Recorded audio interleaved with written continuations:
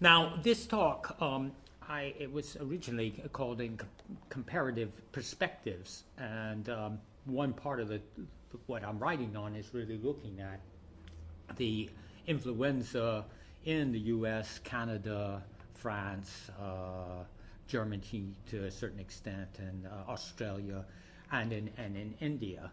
Uh, but I haven't really finished that part yet, and so the comparative perspective has to do really with influenza uh, and other other epidemics, other epidemic diseases.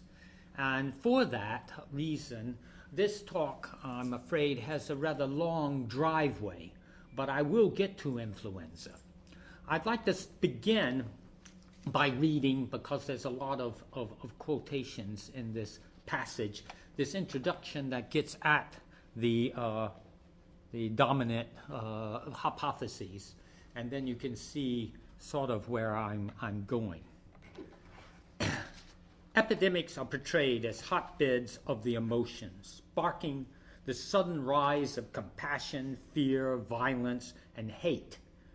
Over the past 60 years or more, historians have seized on the last three of these characteristics, seeing disease across time and space as stigmatizing the other, often leading to violent recriminations as René Baehrel held in his classic article of Les Annales in 1952. Such reactions are a part of our structure mentale constant psychologique. I guess in the common parlance to say, oh, it's part of our DNA, but I'm getting sick and tired of that, that uh, analogy. Uh, with the eruption of HIV AIDS in the, in the 1980s, these conclusions gained force from scholars across disciplines. According to Carlo Ginzburg, the prodigious trauma of great pestilences intensified the search for a scapegoat on which fears, hatreds, and tension could be discharged. By the reckoning of Dorothy Nelkin and Sander Gilman, blaming has always been a means to make mysterious and devastating diseases comprehensible. Roy Porter concurred with Susan Sontag. Deadly diseases, especially when there is no cure at hand uh, and the etiology is obscure, spawn sinister connotations. And most recently, from earthquake wrecked cholera hit Haiti, Paul Farmer has proclaimed blame was, after all, a calling card of all transnational epidemics. Scholars post 1980, moreover, have introduced, at least implicitly, a historical dynamic to this supposed universal fact of collective psychology. when the causes and cures of epidemic uh, diseases are unknown, hatred of the other becomes more likely, more pronounced.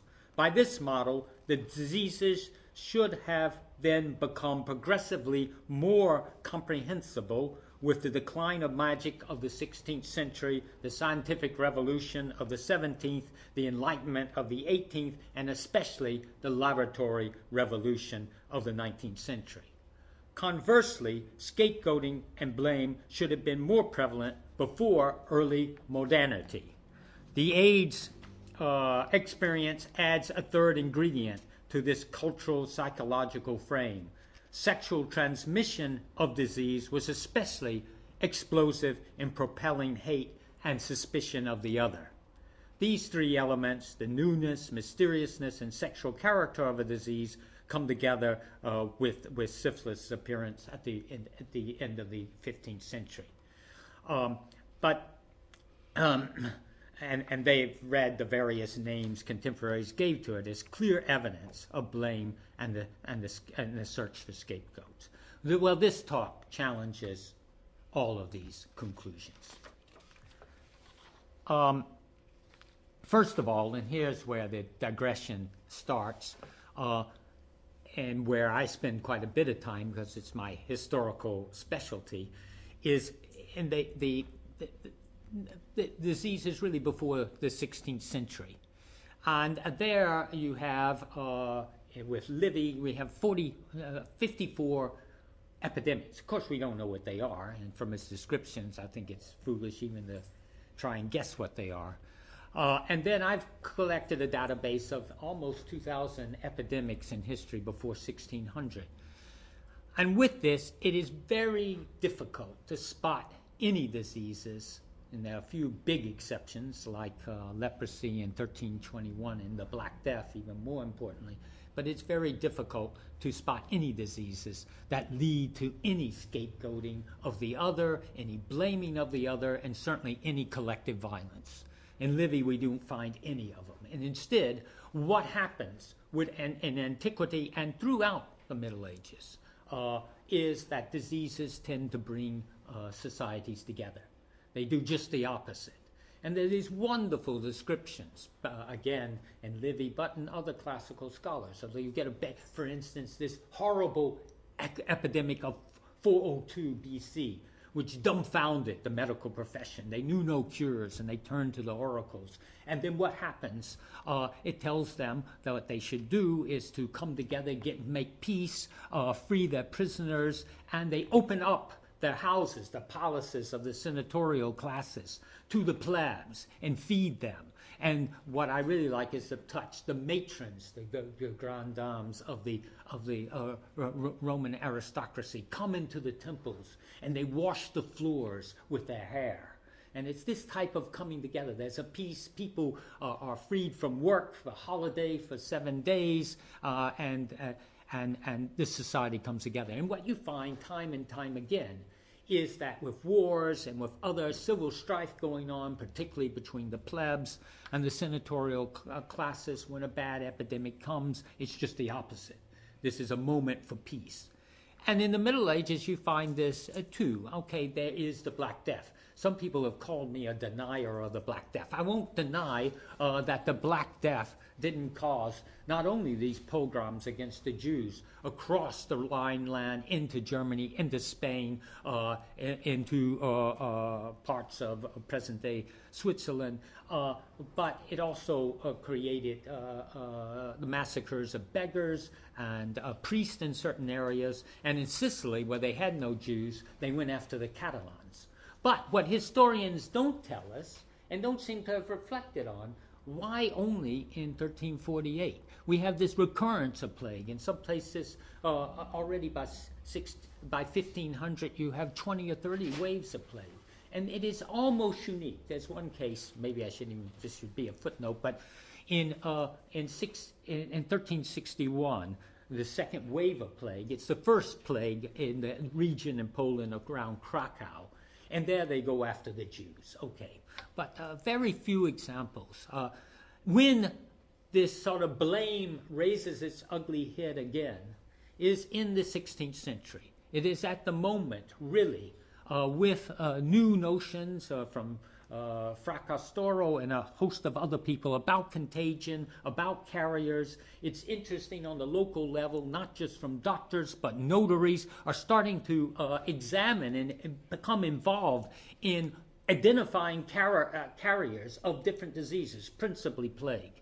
And the leading edge of this new, uh, uh, new uh, uh, ideology, as well as now a new violence against individuals in blame, doesn't come from the ignorant people in the, in the, uh, in the hollows of the Alps, as uh, Yves Marie uh, once told us. Uh, no, it comes from the highest ex- echelons of intellectual society. It comes from places like Milan, and, and, Milan is perhaps the best example or the one that's certainly been studied the most for these plague spreaders, these people who are blamed and brought to trial for spreading intentionally uh, the plague. Uh, again, it is interesting that even this reemergence of hate since 1348 in a big way. This reemergence of hate is not like the old one. It is not really blaming the other in any way at all. The people in Milan, and here I've, tra- I've tracked down these court records. I know who's on both sides of the fences. I know who, in fact, is making the accusation and who's being accused.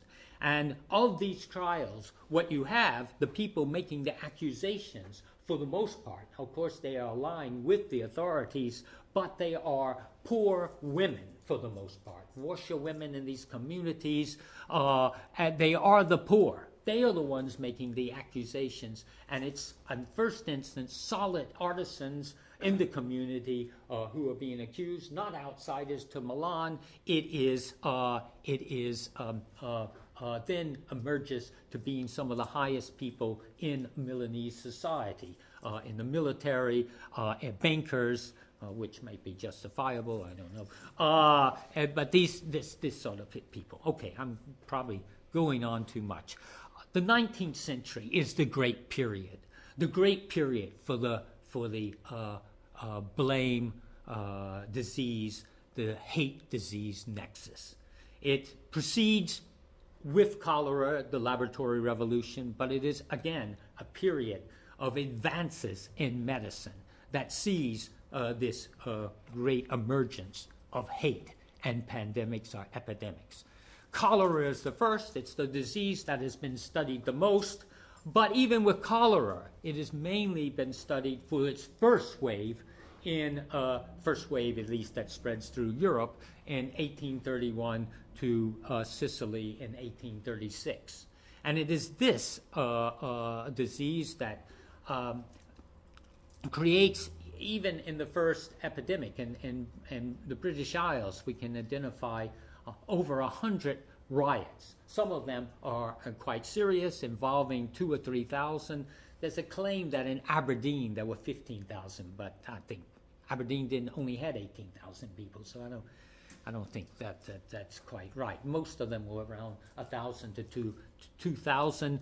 And again, it's, it's the whole notion of the other doesn't work with cholera either, because who are the ones who are like Ebola today? I think the real parallel is cholera. It's not the Black Death, as people wanted me to say. It is cholera. These are the ones who attacked the, uh, the medical corps, nurses, pharmacists, the ones who burnt down uh, these new cholera hospitals, and the, uh, the, the, the wrecks. And who were they? They were mainly the marginals in cities such as Edinburgh. Uh, there was a Catholic population, uh, the, the poorest uh, people in the population. One I know, which I feel sort of uh, feel interested in because I don't live far about it. It's the cholera hospital. Some of you might know was was right under the castle, called the Castle Hospital. And what they did uh, in this uh, uh riot, one riot in uh, Edinburgh, there were at least two. Uh, they they then grab, they did steal the the um, the hearse that's taking people to the hospital, and they wreck it to smithereens and throw it in the canal basin sort of like that special touch since I go by the Canal Basin quite a bit. Uh, so uh, this then is uh, this disease, but it, this, this epidemic creates this same sort of mythology. Uh, in places such as Italy until 1911, and not just in the south of Italy. Segni has one of these uh, riots against doctors and and pharmacists uh, in 1911 in Segni, which is uh, in Lazio near, near Rome. Uh, and then in Russia and parts of, for instance, Donetsk, which is in the news now. Do, do, do you all know that Donetsk was a Welsh town? I mean, you, you know this from the cholera riots. It was formed by this guy Hughes, called Hughesville in, in 1869, and he built. Uh, he was brought in by the Tsar to uh, for coal and uh, uh, uh, steel works in this town to produce a fleet for, for Russia. And there's a horrific cholera riot in Donetsk, called then Hughesville, in uh, 1892, in which 10,000 people are involved, in which they completely destroy this town. Uh, one can add many more examples. So there's, there's cholera, but there's also other diseases. And here um, for, for instance, in America, and I think that even uh, Charles Rosenberg doesn't really get this, the, uh, the, the great disease of hate in America is not really cholera. It creates some riots. Only in the first uh, uh wave of cholera in, in 1832, and they are minor in comparison to what's going on at the same time in Europe. from Manchester, uh, Edinburgh, all the way to Asiatic Russia.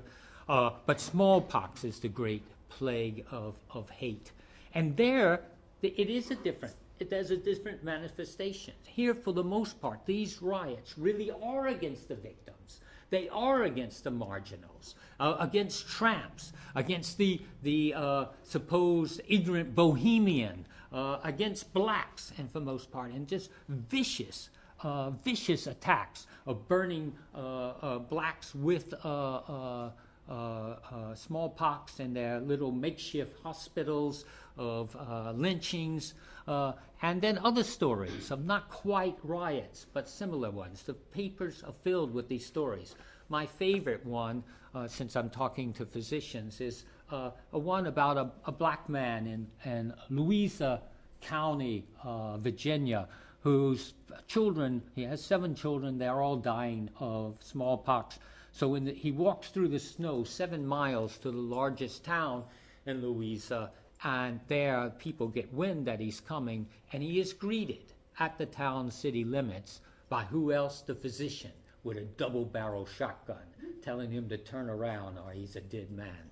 Uh, so these things, then, there are these plagues, and plague, plague, for instance, when it uh, the third pandemic sort in uh, India in particular creates a large number of uh, of, of, very violent uh, riots, which seem to have the same configuration of cholera, but which I argue are very different from the cholera cholera riots. Okay, you have these plagues of hate, but you also have these plagues of compassion. And I hear, I think the historiography has had very little to say about this, especially in this sort of uh, way of, of the assumption, or at least the impression given, that the normal recourse of big pandemics and epidemics is, in fact, uh, this murder or, or blaming or terrorization of the other, of hate. But there are two in particular that I've, I've studied.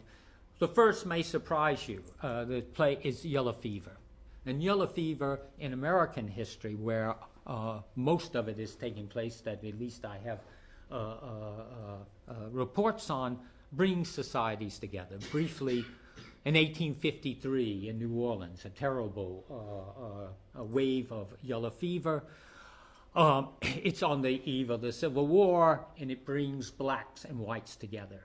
Yeah, the blacks, particularly those from West Africa, have a greater immunity to this disease. The white community calls on them to uh, help them uh, in the care of the of patients with white doctors dying, and, and they, they come to their aid, and there's a great appreciation from it. It's also a binding period between North and South for this interval because Northerners come down to contribute, risk their lives uh, for during this disease, and contribute money to New Orleans and other places where this disease is spreading. I think it's even more manifest and developed by the time you get to the biggest pandemic of uh, yellow fever in American history in 1878, and the city that was worst hit is Memphis and it is filled with material of these charitable organizations. Uh, principally, these are organizations, not principally, exclusively, the people who are risking their lives, at least as illustrated in the papers, are men. And I'll get to this later. And it's clubs, it's organizations, some of which rise up because of yellow fever, like the John Howard Association, that travel around treating people, uh, giving uh, food and benefits, uh, uh, employing doctors, mobilizing quite a bit of money in the care of, uh, of the yellow fever stricken. Uh, and then others such as the Odd Fellows and these di- different clubs. Um, okay, I'll stop there and get to the topic of this lecture influenza. And uh, this, uh, again, is considered the, uh, the forgotten uh, disease. Um, I think it's, it was anything but that, especially in its reportage in the U.S. papers. Uh, there's no disease that comes near it and the number of pages that one gets from these online uh, newspapers. Uh, the, for 1918 uh, alone, there are uh, over 20, 24,000 uh, results and on these pages, these large pages, sometimes you have uh, six or seven articles on the ep- epidemic, and this is from one database, the Chronicling America uh, database, which is an old one, where in fact a lot of the a lot of results don't don't come out. Um, and the first thing I'll say, uh, and I won't talk very much about any other epidemic uh, of uh, of influenza, that I have yet to find any uh, any uh, a wave of influenza or what in the Middle Ages would be called a conquilla or some types of coughing coughing diseases in which people died, uh, any acts of individual or collective violence. Uh, and uh, the the Russian influenza, which uh, yes was called after the Russians but not blamed on the Russians in 1889-90, and you see this very clearly in the newspaper. There's uh, there's a, a lot of speculation of what the disease was and why it was so much more virulent than other previous uh, uh, waves of influenza, but no sense of any uh, of this um, of this type of violence. Now, in the historiography, there is this sense that people really have almost this. It seems to me this this uh, reflex that yes, it's a it's such a big and contagious disease and contagion. It's so fearful that they had to be. You have to put it in the model. That this model that created by Sander Gilman and others and, and uh, Susan Sontag, all these uh, these these great scholars uh, and pundits.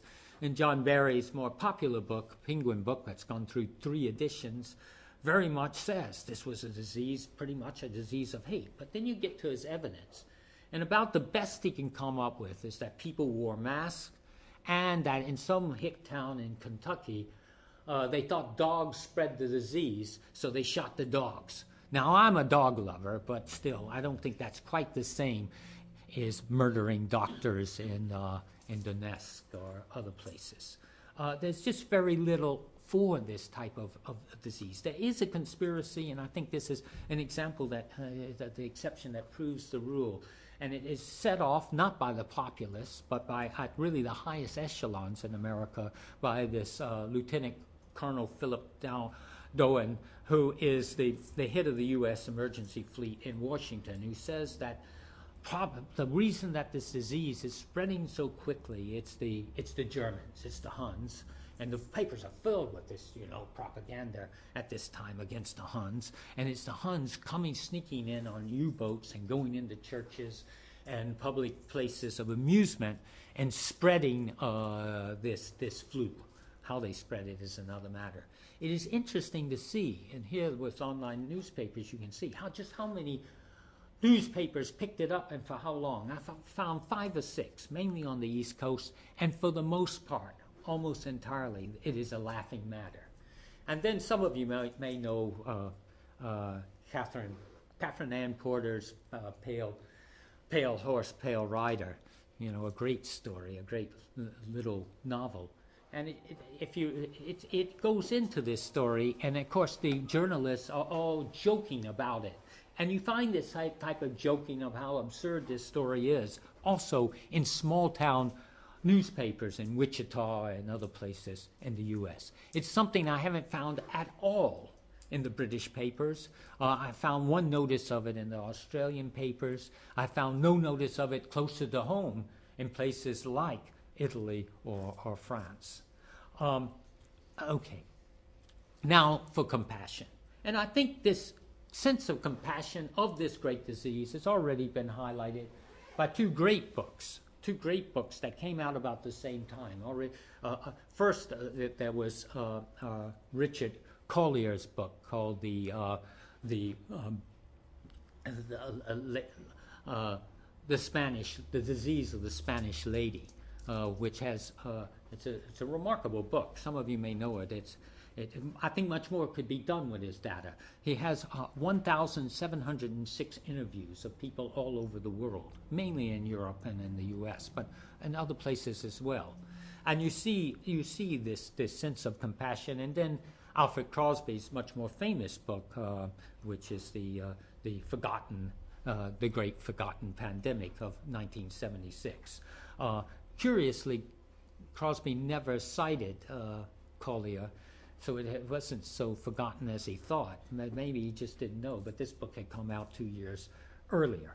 And just to look at Crosby, he, particularly has this cameo piece of Philadelphia, of elite vo- volunteers entering city ghettos, uh, they open kitchens, uh, uh, feed the poor, cab drivers, uh, mobilizing 2,000 organizations that cut across denominational lines.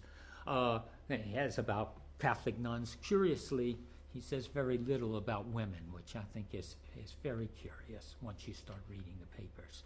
And the same can go for Collier. He says very little about women, even though I think I counted once that most of his uh, respondents, most of the people he interviewed were were women. And here you get a much more international picture.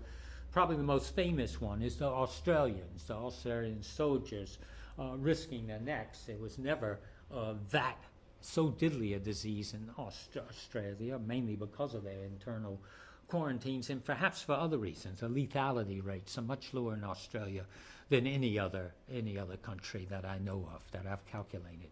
But they go to West Samoa, which must have had the highest uh, rates of lethality and the highest overall mortality rates. I mean, they can compete with the Eskimos and the, and the Inuits in, the, in Canada, but somewhere between 30 and 40 percent of the population is wiped out by this disease.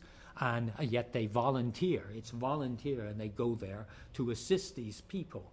Um, one can add to this, and I've found numerous examples. One is uh, to get the Federated Jewish Charities of Boston or in, in Washington. Uh, it's a place where the medical students all volunteered. The fourth year and the second year students wanted to volunteer, the second and third, but they weren't allowed, but they did other work instead. And so you get this uh, uh, male picture, and in some places, I'm sure that this was uh, it was very much like like yellow fever, a male response. This compassion was centered on male uh, on, on a male organization. At New Orleans, uh, you don't hear much about women, but about the Elks Club. And I wonder if this is really the tradition of, uh, of yellow fever. And they, uh, there's this massive dispensary uh, of the Elks Club, apparently then had, was filled with pharmacists and physicians. They give up their time. It, it has these stories. Uh, and in fact, it's filled with uh, these statistics of how many, they, in the first the, thousands of eggs, crackers, oranges, and, and hundreds of loaves of breads and gallons of milk. But again, in the first three days, uh, they filled uh, a thousand free prescriptions. Its physician had, had made over 498 house calls. Calls. And then within two weeks, they had made 11,228 house calls and 13,000 440 prescriptions, and then they uh, ultimately it's over 15,000 house calls. Uh, and they did things like they uh, refurbished the banquet room of the Charles of the, uh, the Charles uh, uh, Hotel to make uh, sure that doctors had a place to sleep for these emergency calls. They talk about doctors working solid out, flat out for 38 hours. Uh, it is this type of, of climate, and then also in New Orleans, you see other male organizations getting in to this charitable act, like the fourth year medical students at Tulane are, are called upon by the Elks Club at one point to join them to help them out. You get this, these, the, the dentists sign an agreement with the Board of Health saying that they will uh, stop doing any dental work to address the emergency and will work any time of day. You get the very exclusive yacht club on Lake Pontchartrain uh, setting up out of their, their luxurious clubhouse, a convalescent hospital. And then there's a group that I have heard of nothing like it anywhere else. The Knights of the Grip, you know, it's called Grip in, in, in French. And these were traveling salesmen who were locked into New Orleans for some reason. And they post that they will go in and, and look after the, the ill at any time of night. They put up advertisements in the major newspaper, the Times Picayune. I'm available between 10 o'clock uh, at night to three in the morning. Uh, and this is this very male dominated response. These are very much the exceptions. And here you sort of wonder, once you read three or four uh, East Coast newspapers already, you see, wait a minute, something very remarkable in the history of, of, of uh, this type of compassion and charity is happening that you, I don't see in previous uh, epidemics. And this is the role of women.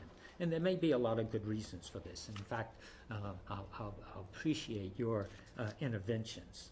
Um, here, on the first, and, and this is, and here I apologize because I really should have more illustrations, and that's my, because what, what is happening right now in, in, in journalism, at least in America, is photojournalism, and it comes to the aid of celebrating these acts of compassion, and particularly by women. You have on the first the, the debutantes and the ladies, the Mrs. Hoover, who then becomes the, the first lady as the 31st, as, a, as the wife of the 31st uh, president of the United States. Mrs. Gore, who is, must be the grandmother, it could be the great grandmother, but I think the grandmother of, of, uh, of our own Gore in our own times. He comes from a very uh, elite senatorial family. Uh, Mrs. Lansing, whose husband is a Secretary of State. Mrs. McAdoo, whose uh, husband is a very powerful uh, uh, Secretary of the Treasury. And here's something, too, that's rather curious. She is always identified as Mrs. McAdoo uh, and not by a maiden name, which strikes me as rather curious because she also had another distinction. She was the daughter of Woodrow Wilson, who was the, damn, was the president at that time. Any rate, these people feature, and of course, they give their automobiles and they're publicized in, uh, in this photojournalism. Uh, and they, they may do a little more, but this is not what you would think. This is not what you would think, even from the perspective of 1916. In 1916, there was a polio epidemic. And yes, there was a women's group, a women's group involved in this called the, uh, do I have it up there? The, the Mothers uh, Militia to fight paralysis and help your neighbors. And these were elite women who didn't dirty their hands in the slightest. They lectured uh, to, uh, actually, not even to these women, but to others who were to go out and patrol these women and blame the disease on dirty Italians and on other dirty, irresponsible mothers of the poor in the, in the uh, tenements of New York. and they went around preaching that this is what they had to do to keep their babies uh, right and to keep things straight. They were the reason why these babies were having polio. And they even went out patrolling with the police to arrest these mothers who weren't keeping their houses tidy. Uh, there's nothing that smacks of this anywhere, in anywhere in America that I've seen, or in any other country, even by these elites. There's a second level to this with this photojournalism that I, I think is exciting, with very long articles, five or six columns, about uh, a different cut, a middle class cut of women who are, have just graduated from uh, universities. Uh, how much time, time do I have? Okay, good. Uh, who um, and who um, um, do these, these, sort of remarkable things. They organize these motorcades. They are part of this new generation of women who drive and own their automobiles. And in uh, places such as Washington, Philadelphia, New York, they uh, they they go around picking up the uh, the afflicted and and putting them in their cars. They go up. There's stories of them climbing the stairs of these uh, at, at one and two in the morning to get these 200 pound men. They bring up the stretchers uh, and uh, they can't get down these narrow uh, tenement uh, stairwells. So these women put 200 pound men on their backs and bring them down to the cars and speed around. And there is this, this chatter, like this one woman from California who's in Hoboken organizing this group. She's in her 20s, and she says, Yeah, mass. They ask her about mass. We don't bother with it. Hey, if we get the disease, we get the disease. I came down with it for three days all right, I'm over it now. I'm back on the job. This is what they. It's sure that this this is zeal. The question I have is what what really happens to these women after uh, uh, 1919? What do they do? Uh, what what's what are they doing in the Roaring Twenties? But I'll just cut short. And I'd, I'd like to read this one because I, you know, when you look at all this newsprint, sometimes there's these stories that really uh, uh, get to you. Maybe maybe it won't be translated, but one is in Washington. There was one of these motorcades, and a, I just a, a doctor found a girl suffering with Spanish influenza in a rooming house, three flights up, homeless, as war workers are in this city of magnificent distances and prices. And I don't know if any, I can't find anything written on these women war workers. Uh, a fascinating group of really intellectual proletariat who are some of the most impoverished people in Washington at this time, exploited, uh, and yet they read and write the stenographers, uh, and it gets to it in, th- in this. And they also contribute. They volunteer after long hours of working in the Pentagon and other places. They come out and they, uh, Pentagon even existence then, well, in war offices, and they come out and they uh, they they take care of of the the uh, uh, the, the, stricken. Uh, any rate, the, these uh, he telephoned to the garage of the American Red Cross Motor Corps and in a few minutes, an ambulance driven by one of us drove to the door. The driver, that's the person being interviewed, but he doesn't even talk about herself in the first person, ascended the stairs with a woman stretcher barrier. And after the patient had been placed on a stretcher, an attempt was made to carry her down. The twisting, winding stairway prevented this. And so the driver, that is the woman, uh, took the sufferer on her back and carried her down uh, stairs into the ambulance. And then another, a couple of weeks later, in less than a, an hour, a uniformed girl ambulance driver stood on one side of the cot, her soldier orderly on the other. And here in these photographs, there are ones of these, these women and their male orderlies. And nothing is said about the male orderlies. No praise, nothing the young girl ambulance driver who a few months ago uh, knew little about life except the foxtrot and the smartest angle at which to wear a new hat, held up one end of the stretcher. A moment later, the same girl was driving the clanging ambulance to the newly opened influenza hospital at Virginia Avenue. That case and the girl is typical of the endemic right now raging in the city, typical of the shameful housing conditions of women war workers, typical of the heroic service being uh, given by the Red Cross, uh, etc. And it keeps on going on about uh, these these women and how uh, how they work these extraordinary long shifts, this uh, and this sort of uh, this this courage.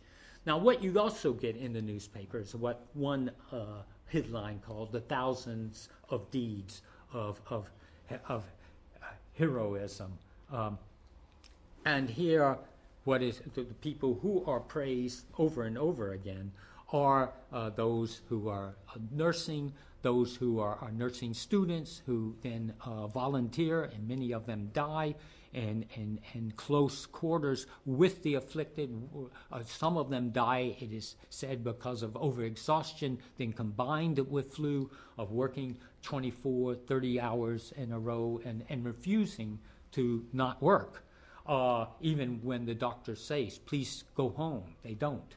Uh, and that, there's also the great in a sense, liberation of those in education because of the closing of schools uh, and uh, teachers freed up from work as well as students.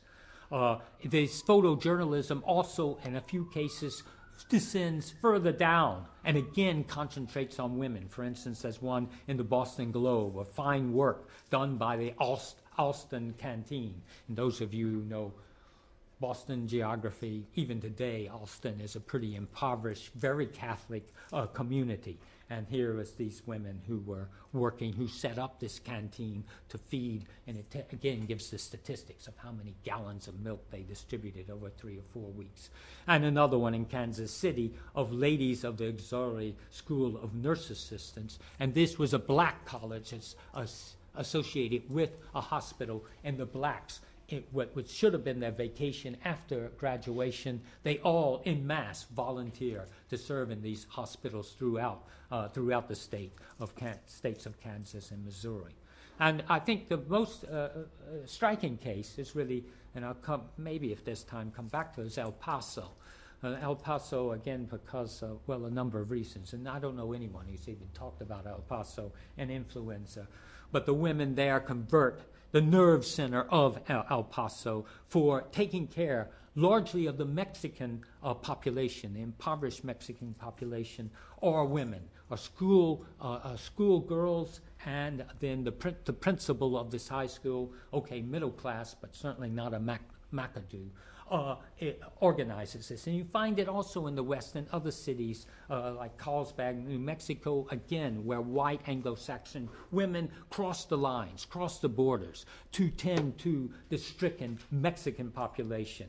In Ogden, Utah, uh, the school superintendent is the head of this uh, uh, uh charity, Sumter, South Carolina, so it's not, there are these places where it's the girls' high school.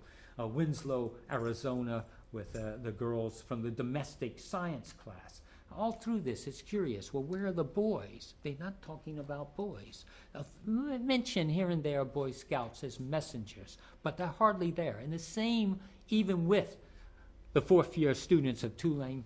When you get to the universities, it is girls' universities, women's universities, Bryn Mawr, Vassar uh, uh, where there's these large core of women coming into New York City uh, to, to uh, risk their lives in nursing or in doing other sweeping floors, taking care of the, uh, of the stricken in the in tenements of Hoboken and these other places. And these these are, are, are, are they are dirtying their hands. They are doing these these uh, tasks of tending to children for mothers who are either dead, have died. Uh, this large surplus of orphans given the age structure of this disease. Uh, and uh, at the University of Missouri, which is a co-ed university, it's the it's it's nurses, it's other it's women students who become uh, the, the the telephone girls who who make sputum cups, who drive automobiles, who give their automobiles. And Boston is really the curious one, with 80 colleges and university. Where is Harvard? Where is Boston College? Where's Boston University? No mention of them. The one school that really gets the limelight that you hear about is Simmons College, the girls' the girls' college, elite girls' college uh, in Boston. When I go to the U.S. in February, I'm going to just creep into the Harvard archives and just see if there's anything there. It's not in the papers. They are not, certainly not advertising anything that any Harvard boys did. Um, okay, in the remaining time, and I realize I haven't, I haven't gone fast enough. I've delayed too much. I want to talk about disease in context and get at this uh, problem of why influenza is so different, why, why uh, in general, and why this, this difference in 1918, 1919. First, going back to that model that I started with, uh, a mysterious disease. Well, sometimes people would say, well, influenza is so familiar. Well, as most of you know, in 1918, this was not a familiar disease. This was a disease that was mysterious and caused a lot of consternation among the, the medical the medical corps. The age profile is very different, attacking those in the best in the, the strongest years from 20 to 30, and then after that to 40, uh, not striking the weak at both ends of the age structure. Uh, and the signs uh, and, and, symptoms were different. This, as in the, the the uh, book you showed me with the color plates, it's turned faces blue. It's the same sort of oxygen depletion that one finds with cholera, uh, uh, with these people being, being uh, uh, starved of oxygen and also really drowning in their own. Uh, the, the, the waters of their collapsing lungs, this suffocation, and this, this sponge like pink lungs that come out in different ways, and even some forms of septicemia. Uh, and the most prominent physician in America at that time, William Henry Welch, and amongst a lot of others, questioned what was this disease. In Europe, many thought that this was plague, it was pneumonic plague. There's this real sense of what it was. Okay, context, the war the war, the great explanation, you know, the, here are these women, it's, it's true, you can see it in diaries, these women who are jealous in sense of their younger brothers because they've got to go to the front and become heroes. There was nothing left for them, so 1918 is a great chance for them to become heroines, and they do. Uh, but I think the war splits much more than it brings society together, World War One.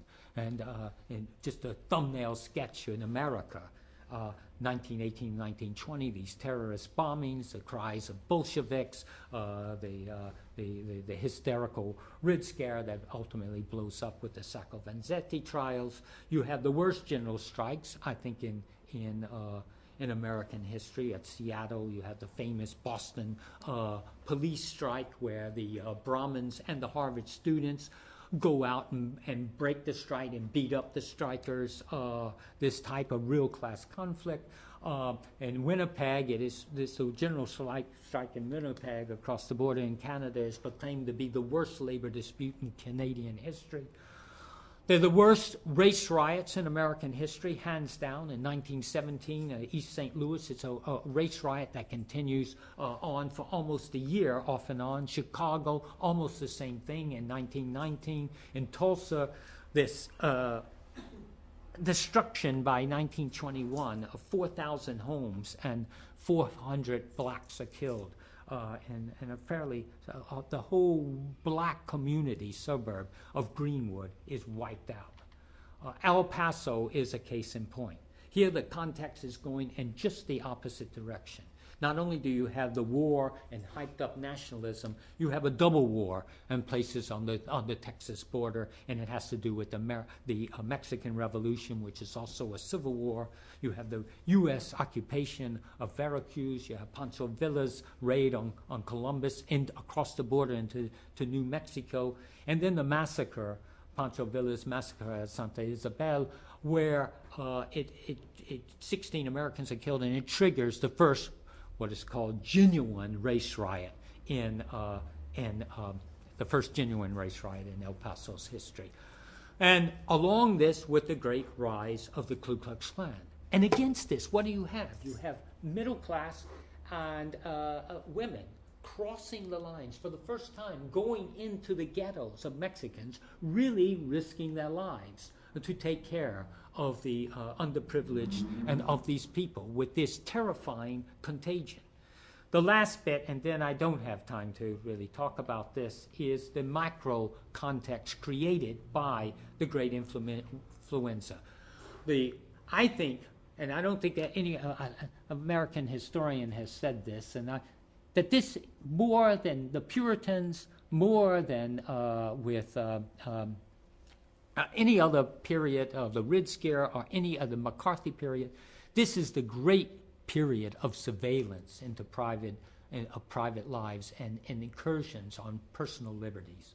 Uh, with all of these closures of mountains and uh, this internal quarantines, but also the propaganda that's uh, unleashed by this against coughers, sneezers, big, and even Boston big talkers, so that there were ordinances passed in small towns and other places where you could uh, you could be fined, and in some cases up to massive amounts of, five five hundred dollars, which was a lot of money back then, uh, for uh, spitting on the floor or something. And, and the propaganda in the papers and in the medical uh, handouts uh, and placards are to avoid the sick at all costs, avoid anyone who sneezes. And, and, and, and one poster, and here I'll get to this one, is, uh, you know, let's take what we, uh, our, our, our, tankmen, the roughest guys in the army, and let's, uh, let's uh, treat them, treat them rough it's almost saying that if you see a, a in the subway in New York, you should beat the guy up, if or, or certainly run. And yet, no examples, no examples whatsoever of collective violence against these people or even incidences of, of, of individual violence. Uh, and then with kissing. Ki- kissing becomes an ordinance in many places against kissing. And I like the one from the placard at the University of, of, of, Mis- uh, of Missouri. Kissing is criminal.